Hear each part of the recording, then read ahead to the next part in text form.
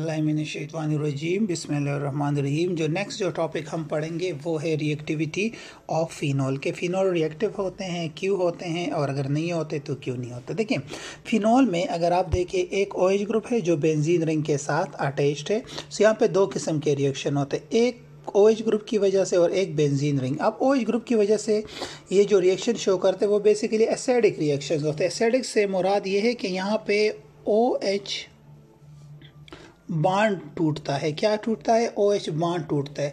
और ये O H bond किस वक्त टूटता है? जब इस पर कोई इलेक्ट्रोफाइल अटैक करेगा या मेटल अटैक करेगा।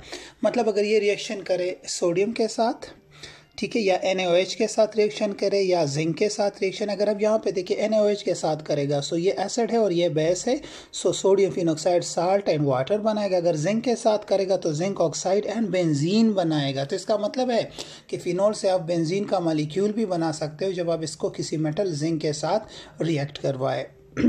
इसी तरह अगर ये ओ OH सोडियम के साथ रिएक्ट करेगा तो यहाँ से हाइड्रोजन निकल जाएगा, ठीक है?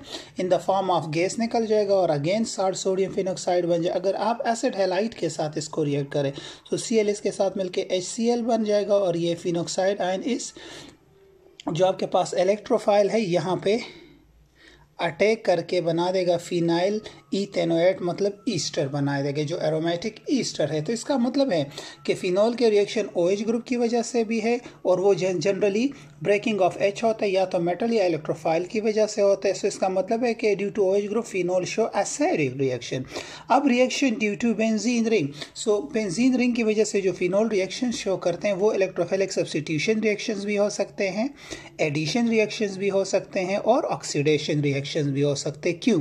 क्योंकि इसका आप ऑक्सीडेशन भी कर सकते हो बेंजीन रिंग का, एक बात। यहाँ पे आप मालिक्यूल ऐड भी कर सकते हो अकॉर्डिंग टू केकुल यहाँ पे तीन डबल बॉन्ड्स है। सो आप तीन मालिक्यूल्स ऐड भी कर सकते हो और अकॉर्डिंग टू बेंजीन रिंग या रोबेंसन स्ट्रक्चर ये इलेक्ट्रोफिलिक सब्सिट्यूशन रिएक्शन भी शो करते हैं।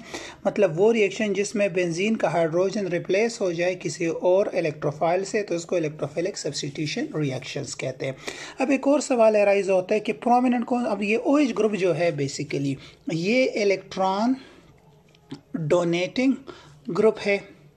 ठीक है सो ये इलेक्ट्रॉन इस बेंजीन रिंग को देते हैं जिसकी वजह से बेंजीन रिंग पे इलेक्ट्रॉनिक डेंसिटी ज़्यादा हो जाती है और ये किसी भी इलेक्ट्रोफाइल के साथ आसानी से रिएक्ट कर सकता है। तो इसलिए अगर आप फिनोल से अगर आपसे कोई पूछे तो द मोस्ट प्रोमिनेंट जो रिएक्शन है, वो इलेक्ट्रोफिलिक सब्सटीट्यूशन रिएक्शन है। क्योंकि बेंजीन अपर शीट और लोअर शीट प्रोटेक्टिव लेयर बना देता है मालिक्यूल्स में जो पाई बॉन्ड है। सो इसलिए इसका स्ट्रक्चर भी प्लेनर होता है या हेक्सागोनल प्लेनर स्ट्रक्चर होता है। और अगर मोर प्रोमिनेंट रिएक्शन की बात करें so O group is electron donating तो बेंजीन रिंग को एक्टिवेट करता है for further reaction with electrophiles